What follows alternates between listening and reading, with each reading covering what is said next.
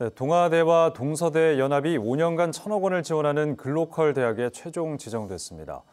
앞으로 두 대학은 대학 간 연합은 물론 또 지역과 함께 성장하기 위한 다양한 사업을 펼칠 예정입니다. 장성길 기자입니다. 특화 중심 캠퍼스 2기 글로컬 대학에 선정된 동아대 동서대 연합이 내세우는 특징 중 하나입니다. 기존 5개 캠퍼스를 미래 산업과 문화, 첨단 영상 등으로 특화해 교육과 연구를 진행하고 수소에너지, 전력 반도체 등의 현장 캠퍼스를 통해 학생 실습을 할 계획입니다.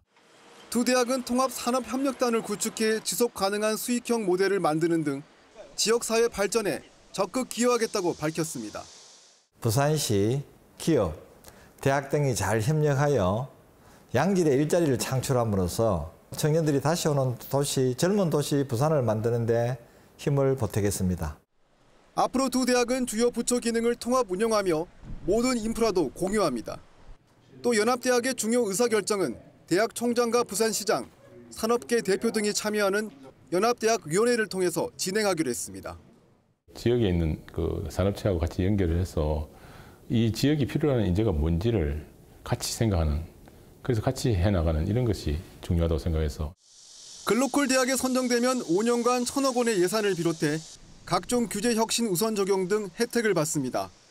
글로컬 대학 총 30곳 중 올해까지 20곳이 선정됐고 내년과 내후년 각각 5곳이 추가로 지정됩니다.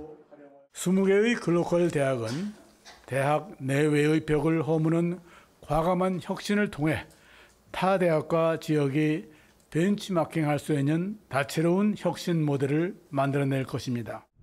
한편 글로컬 대학으로 예비 지정됐다 본 지정에서 탈락한 동명대 신라대 연합은 3년 차인 내년 한 차례 더 예비 지정 지위를 인정받을 것으로 보입니다. KBS 뉴스 장성길입니다.